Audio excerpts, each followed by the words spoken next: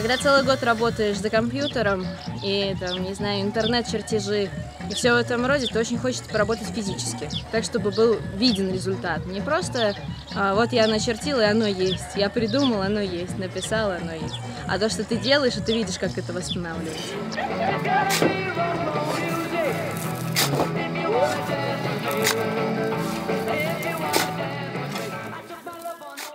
Гэта важна, таму што ты робіш нешта добрае.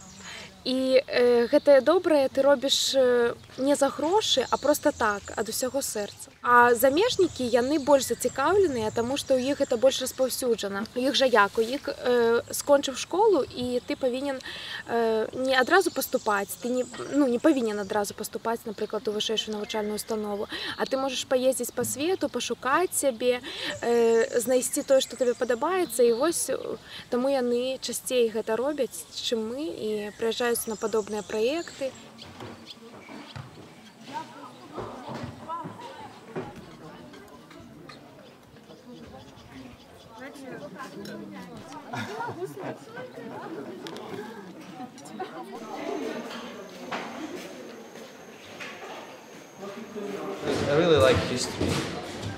Я сапраўды люблю гісторыю і гэта ёсць галоўнай прычынай, чаму я тут.